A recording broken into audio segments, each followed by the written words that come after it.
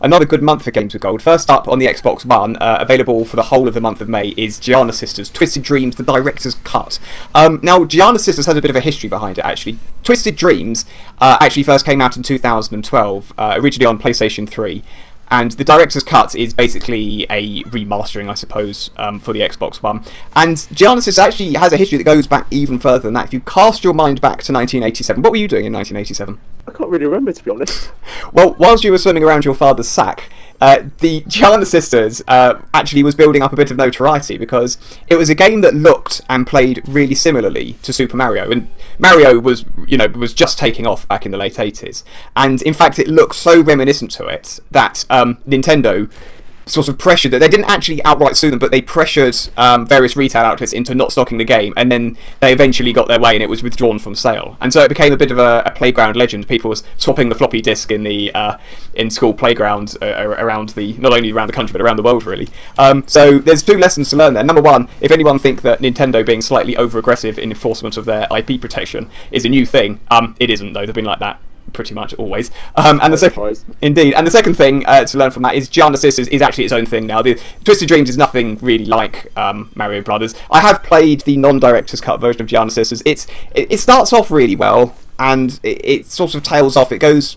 It hits a bit of a difficulty spike, actually. I, I recall from when I played it before. So, um, yeah, I, I'm not overly excited about this particular game. That's a bit of a shame then. It's, uh, it is unfortunate, but you know, give, us a go. The first hour or so is good, at least. Um, second up on the Xbox One, much better actually, Lara Croft and the Temple of Osiris. This is going to be available from the 16th of May through to the 15th of June. Now, this was included with the uh, PlayStation Plus Instant Games Collection quite a few months ago, and we actually played through this. I mean, we had a really good time with it, honest, didn't we?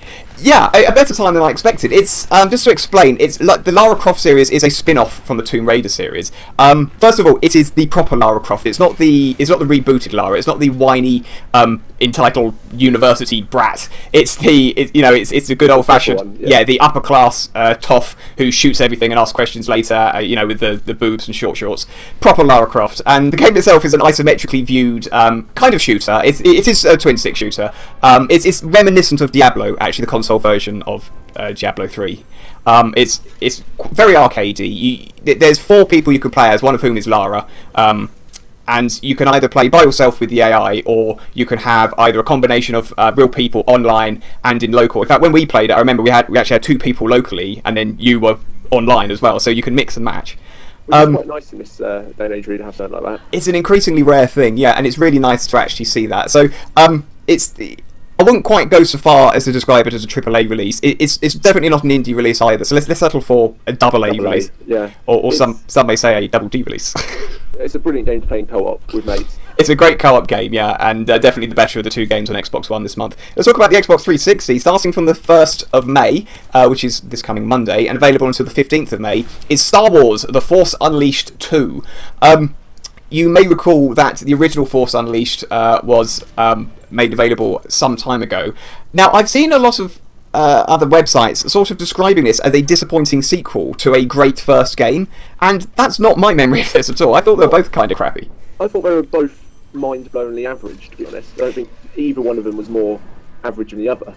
Yeah, I mean, I, I didn't really like the first game, and the, the second one was really more of the same. So I, I don't really understand what people are saying. that This is a massive step down in quality. To in my mind, it's actually more of the same. You, you've still got Darth Vader's whiny dick of an assistant, uh, an apprentice even, um, and you know the story's still a little bit underpowered, and the implementation of the Force powers is is still underutilized, which is all really unfortunate because there were, there was so much potential to both of the games actually, and um, it's it's ironic it's called the Force Unleashed. I think the Force overly leashed would actually be a, a, more valid description of it, to be honest. Um, we have a second Star Wars game this month, though, uh, also for the Xbox 360, and of course, both of these titles will be available backwards compatible uh, with the Xbox One.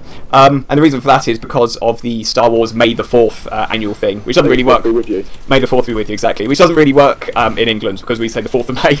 So, for, for, for the May be with you. No, it doesn't work. Um, Lego Star Wars: The Complete Saga. Uh, so this is actually available from the 16th of May through to the 31st of May. Lego Star Wars, the original Lego Star Wars, is the one that kicked it off. Uh, the Complete Saga basically takes the original trilogy and the prequel, the, you know, the awful prequel trilogy, and, and rolls them together into one game. on the PS2, wasn't it?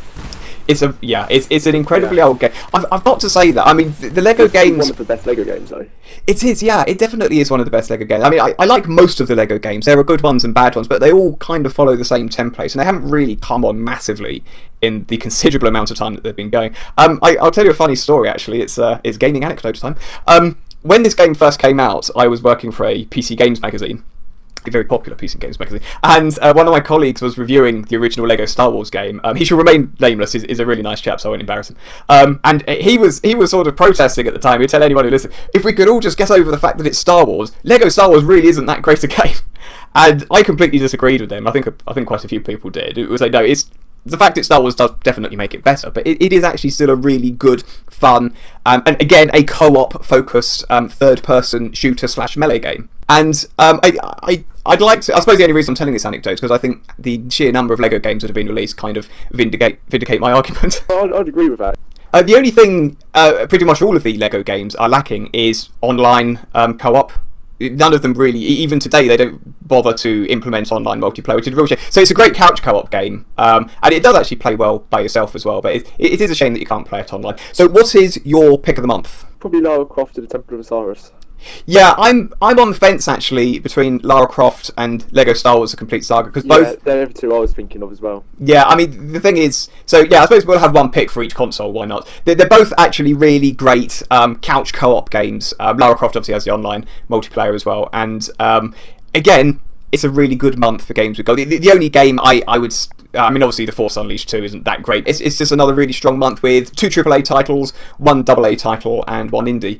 Um, okay, over to you, Sony, uh, with the PlayStation Plus Instant Game Collection. And another Uh, letdown. and another letdown. Let us know what you guys think in the comments below. Do please hit the like and subscribe buttons, loads more at parallaxlive.com. Thanks for watching, and we'll catch you in the next video.